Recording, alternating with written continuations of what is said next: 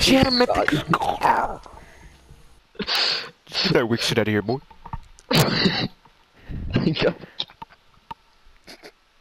yeah, Sheik was just like, gotta get that weak shit out of here, nigga. And then just shot your ass.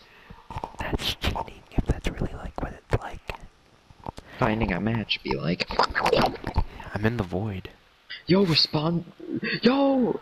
I'm spectating fucking John Wick. He's breaking trees. Oh, he tripped on a pebble. He's like, he kills himself with a pencil.